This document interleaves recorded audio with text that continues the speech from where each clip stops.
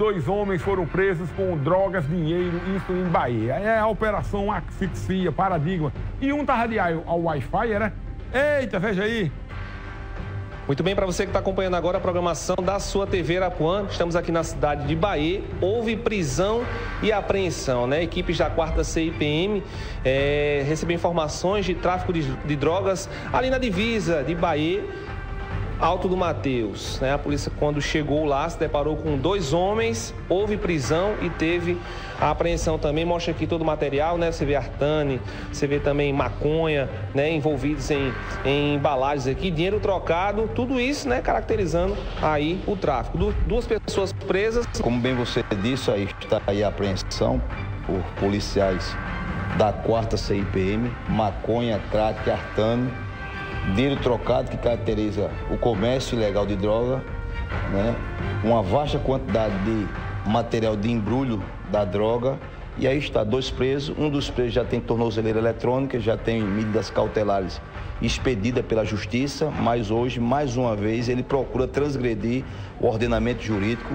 É dado a oportunidade, a ressocialização, mas infelizmente eles procuram o comércio ilegal de droga, mas a Polícia Militar, a quarta CPM, está atenta aos movimentos dos criminosos aqui na cidade de Bahia e está realizando as prisões.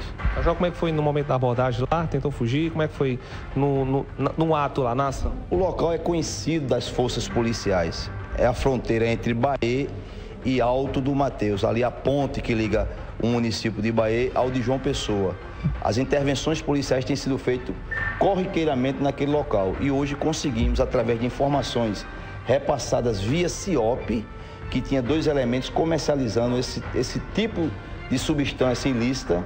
E uma das características, como disse, era uma tornozeleira no calcanhar de um. Chegamos a fazer a incursão pela beira da linha e conseguimos identificar os dois suspeitos.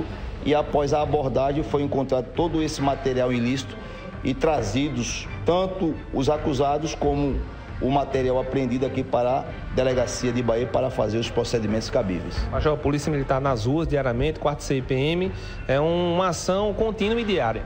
Não paramos, a orientação do nosso comandante é estar sempre nas ruas, lado a lado com o cidadão de bem de Bahia. Aqueles que procuram transgredir, vai encontrar o rigor da lei. É isso que nós estamos fazendo, aplicando a lei para aqueles que procuram transgredir a mesma. Major, muito obrigado e parabéns aí pelo trabalho. É isso, né? Mais uma vez aqui, olha só, mostrar todo o material. Dois homens presos, a gente não vai falar com eles. É isso, mais uma ação, parabenizar o trabalho da polícia. Como o Major falou, é o caminho, né? Se o caminho for esse, o resultado é prisão, é cadeia. Com a imagem dele, Kleber Pereira, repórter Diego Magão, retorna aos estúdios da sua TV Arapuã. Olha, foi nesse trecho aí que o Major Senna apreendeu esse material que há muito, muito tempo atrás é, houve um, tiroteio lá na chamada Mônica e o então tenente Antônio, hoje capitão Antônio, foi ferido. Até um repórter, colega meu, o Hermes Machado, por pouco não levou bala também. E dois dias após esse fato, eu estava com o João Gregório na padaria Miramar, ali na, próximo de você, mostrei lá do Varejão. Na época não tinha um Varejão. Quando o, isso na Maxilene Figueiredo, quando o comandante do primeiro batalhão, ou na época Major Lucas, disse, Vinícius, o vagabundo está cercado, estamos com mais de 100 homens aqui, mas ele disse só se entrega a você. E a gente não quer fazer outra coisa, quer prender, e ele disse só entregava a você. Pensa! Isso 10 da manhã, 9 da manhã, e João Gregório foi até que foi me levar no carro dele, lá no Alto Mateus, né?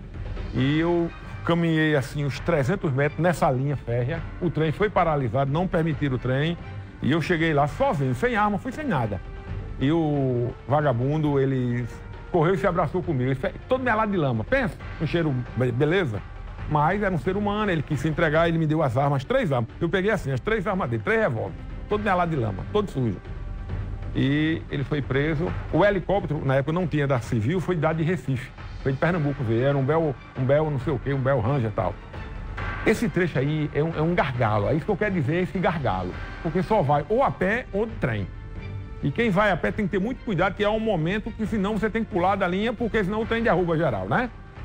Um abraço aí ao Coronel Almeida, está assistindo a gente, e também ao, ao Major Jobson. Muito obrigado, hein, Coronel Jobson também, né?